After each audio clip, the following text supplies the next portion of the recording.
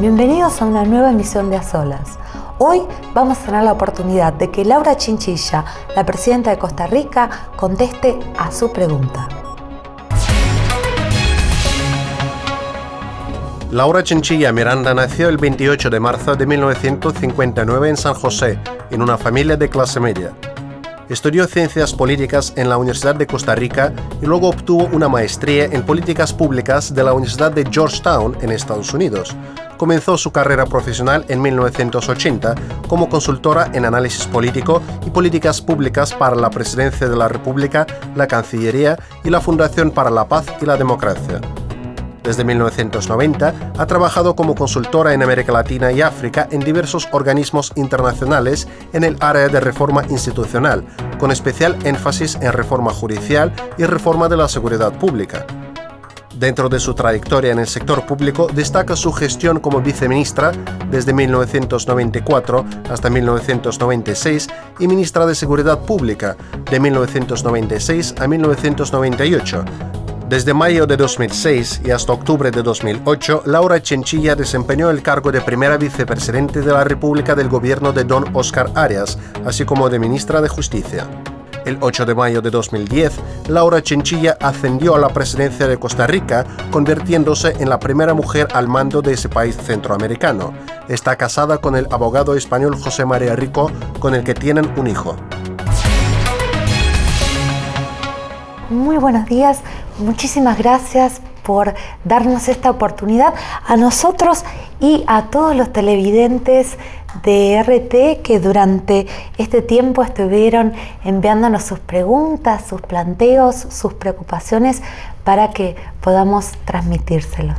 Un gusto, más bien eh, les agradezco mucho a ustedes la oportunidad de ponerme en contacto con eh, la gente que pueda tener inquietudes en relación con los temas de nuestra agenda y de la forma en que eh, vemos no solamente la situación de Costa Rica, sino del mundo entero. Usted decía que meditó bastante la decisión de iniciar la carrera electoral eh, para la presidencia de Costa Rica. Eh, ¿Qué dudas tenía? ¿Qué fue lo que la hizo decidirse? Bueno, estamos hablando obviamente de no cualquier decisión, sino que una de las decisiones no solamente más importantes desde el punto de vista de un proyecto personal, sino que además una decisión muy importante en función de los destinos de un país, de manera que eh, es obligada a una reflexión muy intensa si uno eh, entiende la magnitud de esta tarea. Eh, y es una reflexión que pasa, y en su momento así fue, por lo menos en mi caso, por varias consideraciones. En primer término, hay situaciones de, naturaleza personal. Eh, la función pública exige y requiere mucho sacrificio y mucha entrega. Tengo una familia, tengo un hijo adolescente eh, y eso fue parte de la reflexión. Afortunadamente mi familia siempre ha sido un gran apoyo y cuando tomé la decisión de presentar mi nombre a la presidencia de la República igualmente estuvo a la par mía. Pero también hubo reflexiones desde el punto de vista de si efectivamente el tipo de liderazgo que requería mi país era el que uno podía ofrecer. Y eso exige eh, una reflexión muy crítica también de cuáles son eh, las fuerzas, pero también las limitaciones que uno pueda tener en el ejercicio del liderazgo. Al final, pues eh, dimos el paso y bueno, aquí estamos, ya un año después de haber tomado esa decisión. Usted dijo en una entrevista que a pesar de las palabras de Arias pronunciadas al tomar usted el poder, la mesa está servida. Eh, uno no puede esperar que una administración le deje a uno todo arreglado, porque eso no existe a la hora de gobernar un país. Cuéntanos un poco cómo era la situación política, social, eh, económica que encontró cuando asumió el poder. Eh, como, como en la mayor parte de las naciones del mundo, estamos viviendo tiempos de cambio, tiempos de claros oscuros, eh, muy pocas naciones del mundo en este momento tienen condiciones 100% óptimas eh, para el desarrollo de sus naciones, de sus pueblos. Eh, y Costa Rica no es la excepción. Por un lado, este es un país que tiene enormes cualidades. es un país con una democracia muy asentada, la democracia más sólida de América Latina. Es un país con una fuerte tradición de paz, no tenemos ejército y eso ayuda mucho a la convivencia social. Eh, somos además un país que apostó fuertemente al desarrollo humano, lo que nos ha llevado eh, a convertirnos en el principal exportador de tecnología de la América Latina y con una posibilidad de crecer en la dirección correcta, es decir, crecer a partir del enorme potencial de la inteligencia de nuestra gente. Y somos un país además amante de la naturaleza, eh, por lo cual Costa Rica, lejos de contribuir al calentamiento global, ha sido un país más bien que ha venido ayudando a mitigar parte del problema. Eh, sin embargo, eh, la crisis económica internacional, al ser una economía muy abierta como la de Costa Rica, la mayor parte de su actividad es una actividad exportadora que se coloca en los mercados internacionales, con la crisis económica que golpeó al mundo en el año 2008, pues me encontré básicamente un país haciendo un esfuerzo por recuperar su tasa de crecimiento. Afortunadamente estamos hoy creciendo a más de cuatro puntos, pero por sobre todo, y quizás el problema principal, que tiene que ver con un serio déficit fiscal eh, que nos ha obligado a proponer una reforma fiscal, a pedirle a la gente más sacrificio, más esfuerzos, más restricciones. Eso no es fácil, es muy poco popular y ha tenido un costo político.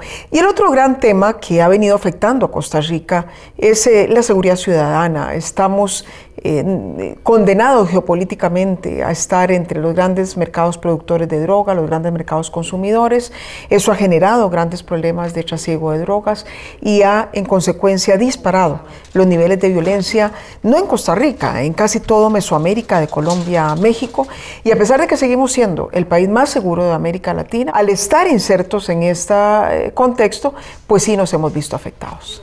Entonces yo diría que esos son los problemas más grandes, seguridad ciudadana y un déficit fiscal eh, que nos está obligando a promover una reforma tributaria. Ahora, si hacemos un balance eh, de lo que se ha hecho en este año, ¿cuáles diría usted que son los logros y cuáles diría usted que son los puntos que por ahí quedaron en el tintero de lo que se planeaba?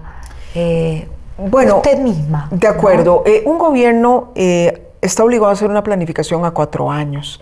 Y generalmente, eh, a medida que, que avanza, eh, que la administración se adentra eh, en el tiempo, eh, los logros se empiezan a acumular con más rapidez. Los primeros años, o el primer año particularmente, es un año de reacomodar, de redefinir prioridades, de alinear los recursos en función de las metas de uno, eh, de establecer nuevas rutinas de trabajo, de cambiar las prioridades a las que ha venido acostumbradas una burocracia y en ese sentido, eh, Obviamente no todas las metas eh, fueron alcanzadas en este primer año en un 100%, pero sí las dejamos avanzadas de acuerdo a nuestras expectativas. Yo diría que a donde más hemos avanzado, donde yo me siento sumamente satisfecha, es en toda la tarea de crecimiento económico, atracción de inversiones, eh, generación de empleo. Eh, Costa Rica se está convirtiendo en un líder en toda América Latina atracción de inversiones en sectores de alta tecnología, eh, de dispositivos médicos, de tecnologías limpias, y eso es una gran cosa para el país. a donde Todavía hay mucho trabajo por hacer y es un desafío enorme, es el tema de seguridad ciudadana. A pesar de que eh, conseguimos más recursos, a pesar de que invertimos más en policía, en infraestructura penitenciaria, todavía la tarea por hacer es muy grande. Usted sabe que una gran parte de nuestros televidentes eh, se han interesado precisamente por ese tema. Eh, y lo que preguntan es, bueno, ¿cuáles son las medidas, cuáles son los caminos ¿Qué ve usted para solucionar este problema? El problema de la criminalidad, el problema de la violencia, no es un problema que puede ser resuelto con eh, respuestas simplistas. Quienes creen que con una o dos políticas se soluciona esta situación, quienes creen que solamente tirando la policía a la calle, que solamente construyendo más centros carcelarios, que solamente pidiéndole a los jueces que metan a la gente en la cárcel. Quienes creen que solamente con eso vamos a solucionarlo están muy equivocados.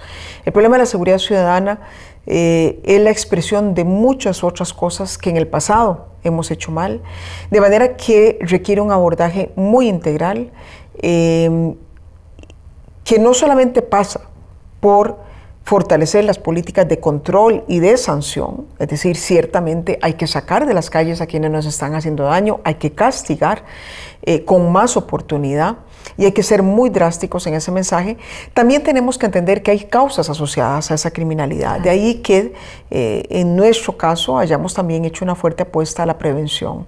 Eh, ¿Qué quiere decir prevención? Bueno, tratar de que muchos de los jóvenes que están en situaciones de riesgo social, eh, que en lugar de irse eh, de los colegios, abandonar las aulas de las escuelas y de los colegios para irse eh, a unirse a pandillas, a consumir drogas o alcohol, pues puedan mantenerse en las aulas. Los temas de educación, los temas de empleabilidad juvenil, los temas de recuperación de los entornos eh, urbanos para hacer más amigables esos espacios y que lejos de que los muchachos estén consumiendo drogas, estén practicando deportes. Todos ese tipo de elementos han sido fundamentales en nuestra política integral para abordar el problema de la seguridad Hacemos una pequeña pausa y seguimos preguntándole a Laura Chinchilla lo que a usted le interesa saber.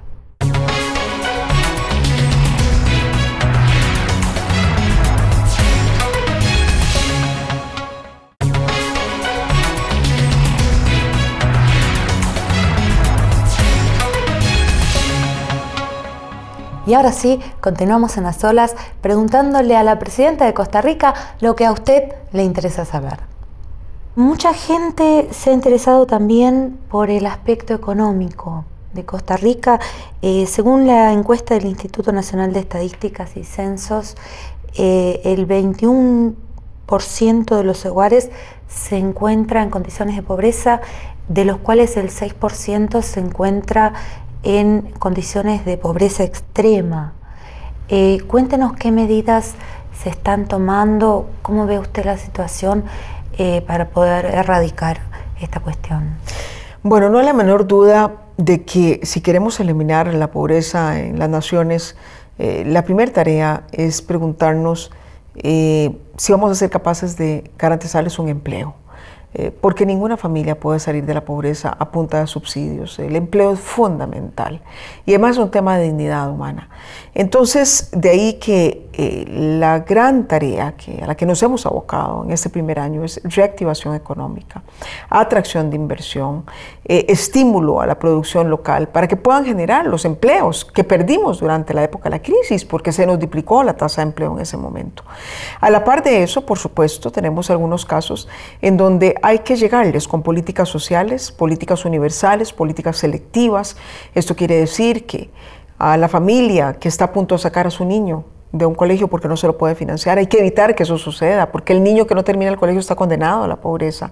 Entonces hemos estado eh, con programas de subsidios escolares, hemos estado trabajando también en programas eh, que vengan a ayudar a la preparación eh, para mejores empleos, capacitación para el empleo de mujeres jefas de hogar.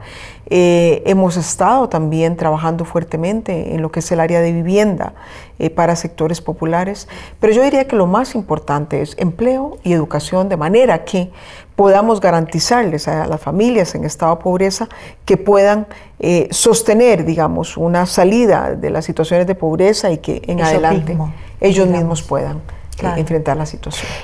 pasando un poco a la agenda regional, usted en su campaña eh, decía que eh, América Latina, Centroamérica, eh, era un foco de atención para su gobierno. ¿Cuánto se ha logrado avanzar en este objetivo? Bueno, nosotros lo que decíamos era básicamente lo que mencionaba anteriormente, que la geopolítica nos ha condenado a estar en una región especialmente convulsa. En estos tiempos ya no por las razones del pasado, en donde habían asonadas militares, problemas de derechos humanos, regímenes autoritarios. En esta ocasión, básicamente, eh, la gran amenaza es el crimen organizado eh, y el narcotráfico. Eh, de manera que efectivamente es una situación de riesgo. Ahora, no nos podemos ir de la región en que nos ha tocado vivir. de manera que el gran reto es unir esfuerzos con las naciones centroamericanas amigas, con países como México, con Colombia, para poder juntos enfrentar eh, los retos de esta violencia que ya está impactando fuertemente a algunos de esos países y que quiere adentrarse también eh, hacia Costa Rica. Em, la forma de enfrentarlo es precisamente como lo estamos haciendo, estableciendo lazos de cercanía con las naciones centroamericanas, promoviendo una mayor cooperación y entendiendo que el crimen organizado solamente se puede combatir cuando precisamente nos organizamos a nivel regional. Eh, los espectadores de nuestro canal se interesan también eh, por eh, cómo ve Costa Rica las tendencias de integración que para muchos países en este momento son un punto clave de, sus políticas. ¿Cómo se ve dentro de ese proceso, digamos? ¿Y qué perspectivas le ve a, esta integración? Bueno, eh, Costa Rica siempre ha sido un país que ha entendido que solamente eh, integrándose al mundo eh, puede sobrevivir, porque es un país muy pequeño, territorialmente hablando, 50 mil kilómetros cuadrados, con una población relativamente pequeña, poco más de 4 millones de habitantes. Eh, de manera que si queríamos crecer, si queríamos que nuestros productos se colocaran y se vendieran y poder generar riqueza y empleo, eh, teníamos que integrarnos con el mundo. Y Costa Rica empezó a abrirse, es una de las economías más abiertas de América Latina. Eh, tenemos tratados comerciales eh, con los grandes mercados mundiales, con Estados Unidos, con Europa, con China eh, y además con Centroamérica. Empezamos muy tempranamente en un proceso de integración económica y hoy somos el país que más gana de la integración centroamericana gracias a que es el país que más vende en el mercado centroamericano. Eh, de manera que eso lo tenemos muy claro y este gobierno, mi administración, sigue apostando a una fuerte política de integración a los mercados internacionales. Ahora, eh, si hablamos no de los mercados internacionales y no solo de los mercados, sino de estas tendencias eh, de integrar a América Latina en un, solo gran país, eh, por tener muchas cosas en común, por tener una cultura muy similar. ¿Qué postura tiene Costa Rica para con eso? ¿Se siente parte de América Latina o se siente parte del mundo? Eh, yo creo que Costa Rica se siente parte del mundo a pesar de que entiende con claridad que sus raíces, por sobre todo, son raíces de origen latino. Em, nos parece además eh, que cada nación, de alguna manera, eh, ha logrado construir una historia propia basada en eh, en la forma en que se fueron conformando sus instituciones, eh, la idiosincrasia propia de cada pueblo y que no conviene forzar integraciones eh, a menos que las naciones y los pueblos ya se sientan eh, integrado. Las integraciones nunca ocurren cuando vienen desde arriba, tienen que venir de abajo para que se sostengan, para que sean legítimas. Ninguna frontera artificialmente borrada eh, ha logrado distanciar a pueblos que no se quieren unir y viceversa. este, cuando se han separado Naciones Unidas por historia y por sangre, este, han logrado finalmente reunificarse. Entonces, sentimos que lo importante en América Latina es que somos una comunidad eh, que nos une el lenguaje, nos unen muchos valores, mucha perspectiva del mundo, problemas comunes y que lo que tenemos que hacer es unirnos en nuestros propósitos eh, de hacer de América Latina, ojalá una zona próspera, una zona con mayores niveles de desigualdad, con mayores niveles de violencia, es una unidad de propósitos. Si logramos triunfar en esos propósitos comunes, yo sí creo que América Latina puede ir caminando hacia una unificación más institucional, pero lo más importante es que nos unan los propósitos a favor de nuestros pueblos. ¿Cuál es el impacto que tienen los conflictos eh, locales en un contexto eh, regional. Eh, si hablamos concretamente de lo que vivió Costa Rica, que es el conflicto con Nicaragua, ¿qué, cuál fue, digamos, la, el reflejo tanto en lo económico, tanto en lo político que hubo en la región, si es que la hubo? Bueno, em, Costa Rica ha procurado que la situación que ha experimentado con el vecino del norte, con Nicaragua, eh, no repercutiera más allá de la situación propiamente bilateral. Eh, sin embargo, sí tenemos que entender que no solamente ese tema, sino también la situación de Honduras, pues de alguna manera le restó un poquito de dinamismo a los esfuerzos centroamericanos que se venían dando. Afortunadamente se está superando ese momento eh, y, vemos este, con mayor optimismo el proceso eh, eh, de convergencia de, de, las naciones centroamericanas. de hecho, hace aproximadamente un mes estuvimos en Guatemala en una conferencia internacional en donde todas las naciones centroamericanas confluyeron eh, a favor de una propuesta regional para enfrentar los problemas de narcotráfico y de crimen organizado. De manera que lo que tenemos que hacer es buscar esas áreas comunes y ahí en donde tenemos diferencias, de manera bilateral, pues tratar de hacerlas a un lado para que no impacte el proceso regional. Tanto de televidentes de Costa Rica como de Nicaragua eh, nos han planteado eh, si los gobiernos, bueno, en este caso usted puede hablar eh, por su gobierno, eh, sienten a la hora de manejar este conflicto cierta responsabilidad moral en cuidar las relaciones entre los pueblos.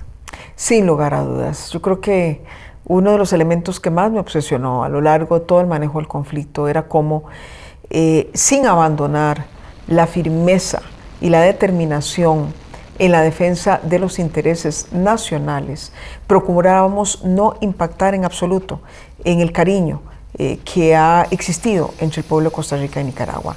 Y creo que de alguna manera se logró manejar, por lo menos eh, de manera reiterada, yo cada vez que hablaba del conflicto, les recordaba a la gente que este era un conflicto promovido o, originado en una actitud de un gobierno, pero no de un pueblo. Eh, de manera que eh, si ustedes ven, Costa Rica siguió siendo la misma. En Costa Rica hay un altísimo porcentaje de migrantes nicaragüenses. Ellos siguieron entrando igual, siguieron saliendo y volviendo a entrar igual. Eh, y hoy siguen viviendo con nosotros como si nada hubiese pasado. Nos han preguntado si se plantean facilitar el proceso de entrega de visados a eh, los ciudadanos de Nicaragua?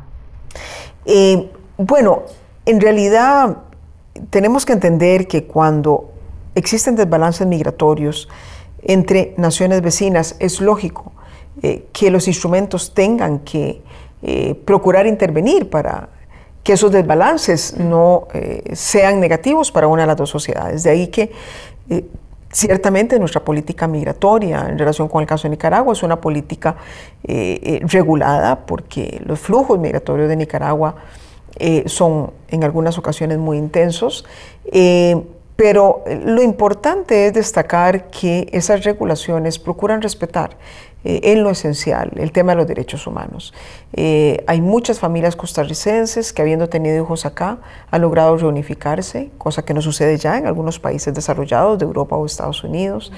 Eh, este, y hay muchos residentes nicaragüenses que pueden tener un acceso pleno eh, a los mismos servicios sociales que está teniendo los costarricenses. De manera que eh, más que eh, desmontar las regulaciones, de lo que se trata es que esas regulaciones sí respeten los derechos fundamentales de las poblaciones migrantes que están viviendo con nosotros. Pero sería correcto si dijera entonces que tiene que ver exclusivamente con una cuestión de, bueno, regular una situación demográfica y no con eh, el conflicto. no, en absoluto, en absoluto. Si ustedes analizan la política migratoria costarricense, no cambió en absoluto antes y después del conflicto. Sigue siendo exactamente la misma. Eh, los mismos controles en fronteras siguen siendo los mismos. Obviamente, a donde tuvimos que fortalecer controles fue precisamente en la zona en donde Nicaragua había invadido el territorio costarricense. Pero no tiene que ver, digamos, por decirlo así, eh, con una bronca para con No, en absoluto, en absoluto. Bueno, eso es lo importante. Hacemos una pequeña pausa, pero no se vaya, que puede ser que precisamente su pregunta esté en el próximo bloque.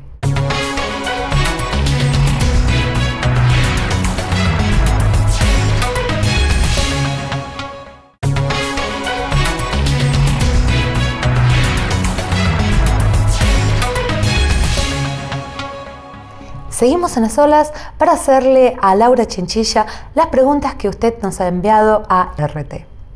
Muchos de nuestros televidentes también se han interesado por un tema que, como usted decía, eh, desgraciadamente sigue, eh, sigue vigente, que es el tema del narcotráfico. Eh, en la conferencia regional que usted mencionaba sobre seguridad en Centroamérica, usted tuvo una propuesta poco, poco usual, digamos, ¿no? Que es que los países consumidores de drogas paguen cierta suma por cada kilo de cocaína que se... Eh, decomisa. Que se, claro.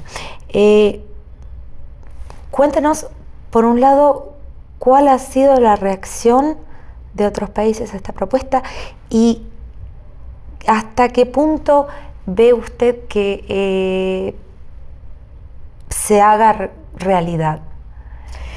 Vamos a ver, a veces uno propone algunas medidas, no necesariamente para que se acojan como tal, pero sí para que promueva un debate y nos obligue a reflexionar de si lo que estamos haciendo bien, eh, lo que estamos haciendo hoy, eh, lo estamos haciendo plenamente bien o se admite algunas revisiones. Sí. Eh, cuando propusimos el mecanismo del FONDECA, es decir, un fondo eh, para el combate a la criminalidad organizada en Centroamérica. Queríamos poner de relieve sobre todo dos o tres cosas. En primer término, em, que este asunto del combate al narcotráfico eh, es un tema que exige la corresponsabilidad de las distintas naciones que entran en esta problemática. Em, y que esa corresponsabilidad no necesariamente la misma para todas, que aquellas naciones en donde hay un gran mercado consumidor, eh, pues deberían eh, eh, de alguna manera tener una actitud de colaboración hacia los países que como los centroamericanos están asignando recursos, están poniendo vidas humanas eh, para incautar la droga que va hacia esos mercados consumidores. Entonces, el tema de corresponsabilidad en la lucha contra el narcotráfico es un concepto fundamental que quisimos posicionar en la conferencia centroamericana. Y el segundo tema es que las drogas eh, no, no, es más que un producto que se inserta, se inserta en los mercados internacionales con una lógica de mercado y que si no abordamos eh, el combate a las drogas con esa lógica de mercado, siempre vamos a estar perdiendo.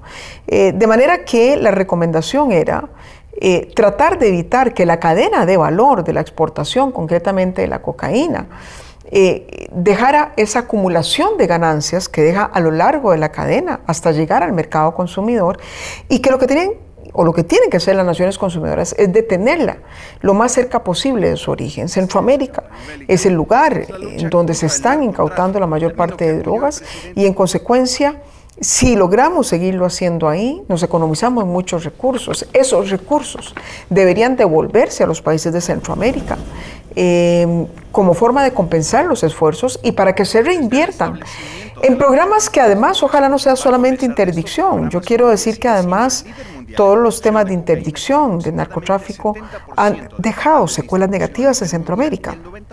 Una de ellas es que la droga ha buscado eh, eh, trasegarse por el territorio nacional, muy cerca de las costas, ha dejado eh, toda una eh, cadena de colaboración de bandas eh, locales, eh, han creado mercados de consumo internos. Entonces, queremos también poner, y finalmente con esto cierro la idea, poner de relieve de que lo que Centroamérica está demandando de la comunidad internacional es una actitud de corresponsabilidad, pero no de regalías. Nosotros no estamos aquí pidiendo que nos regalen nada, simple y sencillamente queremos poner de relieve que merecemos una actitud de mayor responsabilidad de parte de las grandes naciones consumidoras ante el enorme esfuerzo que Centroamérica está haciendo en materia del combate al narcotráfico.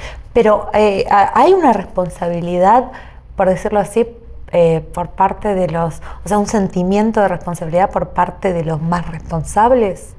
O, Yo siento que, sí, y, tenemos que reconocer, por ejemplo, que dentro del gobierno de los Estados Unidos ha venido adoptándose el, concepto de la corresponsabilidad. Ellos hablan de no solamente seguir persiguiendo el eh, narcotráfico aquí en Centroamérica, sino también de hacer esfuerzos paralelos por reducir el consumo y la demanda eh, en su mercado. Eh, y creemos que, que es un concepto que está agarrando fuerza. Ahora, ¿cómo ese concepto se vuelca en políticas diferentes?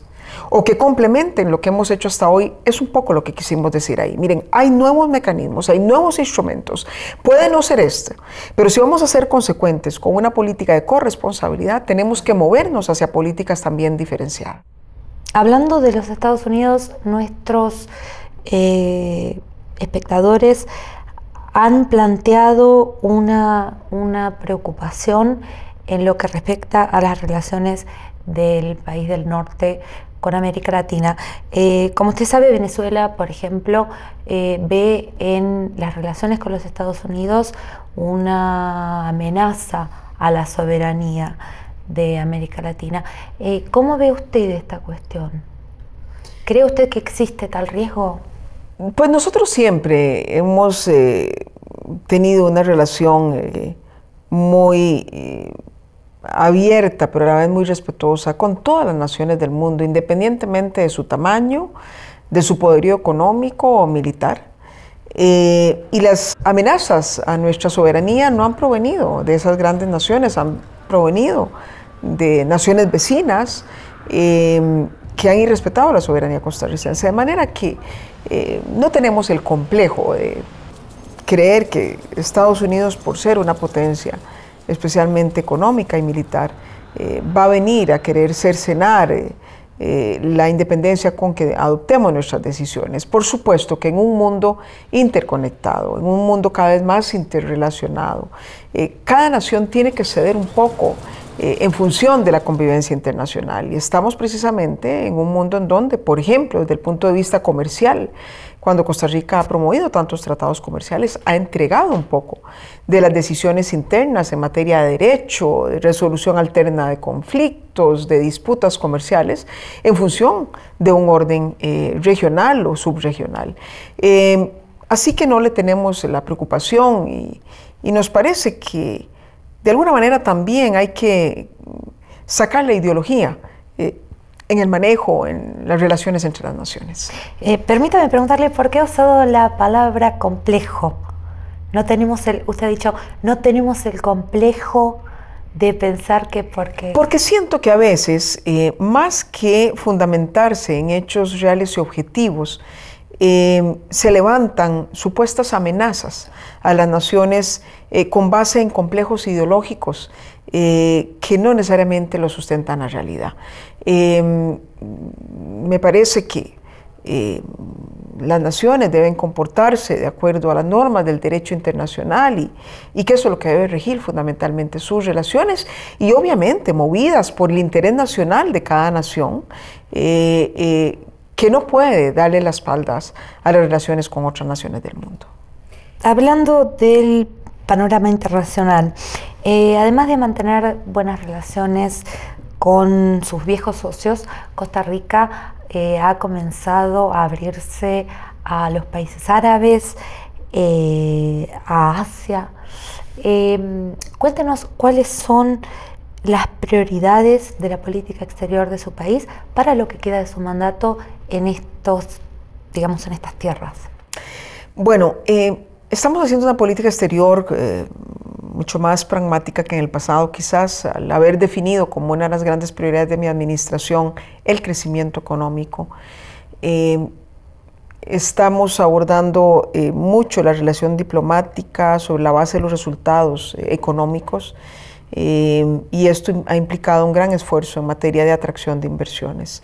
eso tiene para nosotros mucho sentido, de ahí que, por ejemplo, hay un gran énfasis eh, en lo que va a ser eh, el estrechar relaciones con las naciones del Asia-Pacífica.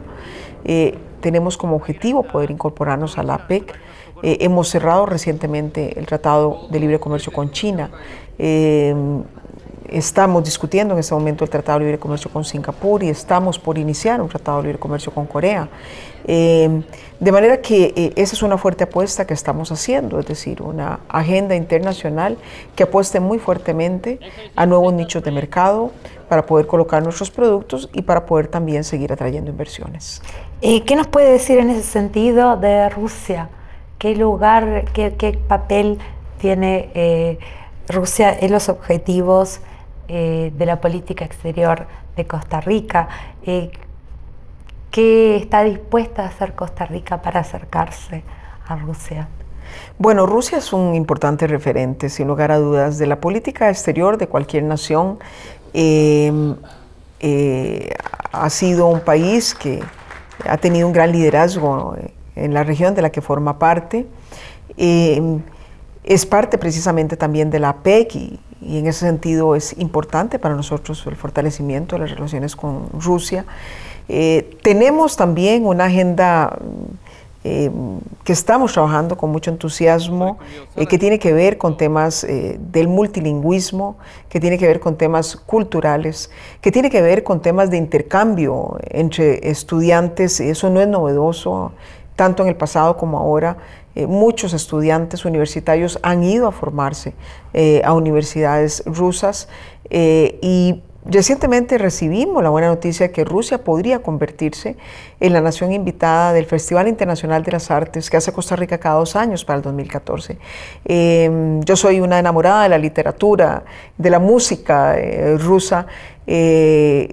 Rusia ha engendrado grandes genios del, arte, la literatura universal, de la música universal. Eh, y desde ese punto de vista, pues no hay la menor duda que culturalmente hablando también es un gran referente y una gran inspiración para una nación como Costa Rica. Hacemos una pequeña pausa y seguimos preguntándole a Laura Chinchilla lo que a usted le interesa saber.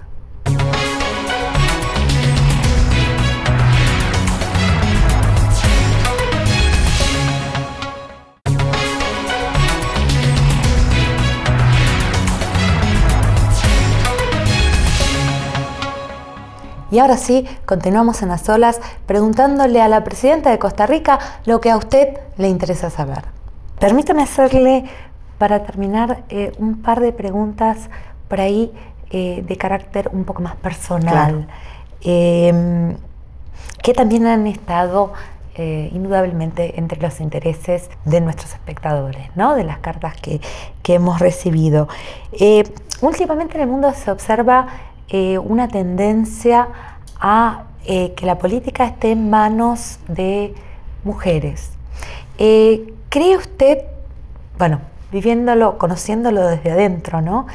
que realmente hay una diferencia en el estilo de hacer política masculino y femenino? Estoy convencida de que sí lo, sí lo hay, porque eh, y con eso no quiero decir que sea mejor o peor, simplemente que hay diferencias en la forma en que los hombres se aproximan a, la realidad, la forma en que las mujeres lo hacemos, eh, la forma en que lidiamos con la resolución de los problemas, la misma forma en que escuchamos, eh, en que abordamos el análisis de, de las problemáticas. Y, creo que hay estilos muy diferentes. El, el hombre tiende a quizás a tener algunas ventajas desde el punto de vista de que eh, tiende a concentrarse usualmente y tradicionalmente en muchos menos objetivos. La mujer generalmente tenemos un abanico mucho más amplio. Eh, el, hombre tiene una aproximación a los procesos de negociación eh, mucho más determinante, la mujer busca más el convencer que el imponer. Eh, Menos agresiva, podríamos decir. Pienso que sí, pienso que es, un estilo, ¿verdad? De nuevo, eh, eh, no se trata de que uno consiga los resultados más rápido que otros, me parece que los dos métodos son válidos, pero que son estilos diferentes. Y, siento que la mujer en términos generales está también más dispuesta a escuchar y, a validar la posición de, de los interlocutores. Me parece que cuando se gobierna por primera vez en un país por parte de una mujer, eh, hay todo un trabajo eh, de reeducar a un pueblo entero con los nuevos estilos de hacer las cosas. Y lo que muchas veces no es más que nuestro estilo propio. Desde una silla presidencial se puede interpretar como eh, pérdida de tiempo, como debilidad, como eh, dilación, como, y no es más que simplemente un estilo diferente de hacer las cosas. Exactamente. Claro. Uno suele ver, digamos, el esplendor de lo que es ser presidente de la nación. Eh, ahora, seguramente como todo, eh, no serán todo, solo rosas, digamos, ¿no? Eh, ¿Cuáles son, cuáles diría usted que son las principales limitaciones que le implica su trabajo? para ser más, más sencillos, ¿qué es lo que no le gusta de su vida como presidenta? Difícilmente tengo una queja porque primero eh, como conversábamos al inicio de la entrevista, eh, la presidencia no fue una cosa que, con la que de pronto me encontré. Eh, ya yo tenía una trayectoria en la vida pública y me lo pensé mucho, analicé mucho. Estuve muy cerca de la silla presidencial porque fui vicepresidenta. de manera que ya de alguna manera yo conocía los rigores del poder. sí tengo, sin embargo, que destacar que me ha correspondido uno de los arranques de gobierno más difíciles que recuerda el país porque se conjugaron muchos factores, una invasión de una nación extranjera, eh, fenómenos climáticos eh, muy complejos de manejar, una situación de carestía en los recursos públicos eh, y una serie de conflictos que se venían acumulando que hemos tenido que resolver. por supuesto que quisiera tener una presidencia más tranquila, con mucho menos votos, pero uno no elige las circunstancias en que uno viene a gobernar. lo importante en esto son dos cosas. Primero, nunca perder de vista eh, eh, qué fue lo que uno vino a hacer, eh, porque si no, tanto elemento distractor lo termina a uno sacando de su ruta y no logra alcanzar las metas. Entonces uno siempre tiene que mantener la mirada puesta en las metas que se propuso alcanzar y no claudicar a pesar de todo. Y segundo, no abandonar sus convicciones, eh, porque eh, son las convicciones las que nos dan fuerza. Eh, el momento en que abandonamos nuestras convicciones o dudamos de ellas, yo creo que esto se hace muy duro para llevarlo uno sobre sus hombros. pero en términos generales, yo me siento verdaderamente más bien privilegiada de haber podido tener esta oportunidad. Eh, confío que a medida que avance el tiempo podremos ir avanzando en la solución de algunos problemas eh, y no tengo la menor duda de que me inspira la mejor de las intenciones frente al pueblo costarricense. Pero digamos, ¿se siente cómoda? Se puede decir. Sí, este me siento. Mm, no, no, me resulta en absoluto extraño. Eh, y más bien, hay quienes a veces me dicen, es que deberías hacer más el énfasis eh, eh, en el uso de los recursos del poder. Eh, y quizás me ha sido tan familiar que lo siento como si nada hubiese cambiado. me parece que más bien se, me ha ido, se, me ha ido, la mano en lo contrario. El, ejercicio del poder me ha resultado siempre muy familiar. Y, mm, Pero de todos modos hay, mucho ciertos, digamos, ciertas realidades que uno no puede ignorar, como es la cuestión de la seguridad.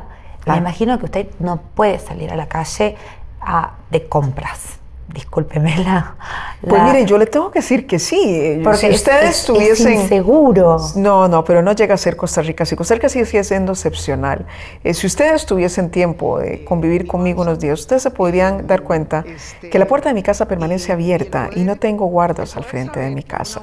Tengo algunas cámaras que monitorean, pero no tengo guardas. Eh, que de vez en cuando me escapo a mi escolta, cojo mi carro y me voy a hacer yo misma mis compras. que mi hijo sigue siendo su vida de manera normal.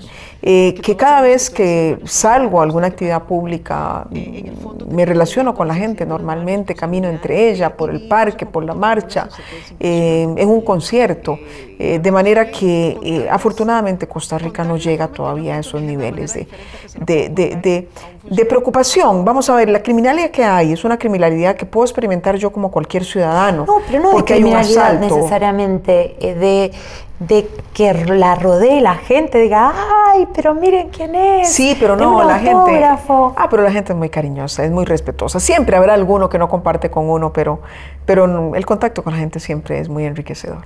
Eh, hay una pregunta que no puedo dejar de hacerle. ¿Qué actitud eh, tuvo su hijo para el hecho de, de alguna forma, tener que compartir su mamá con todo un país.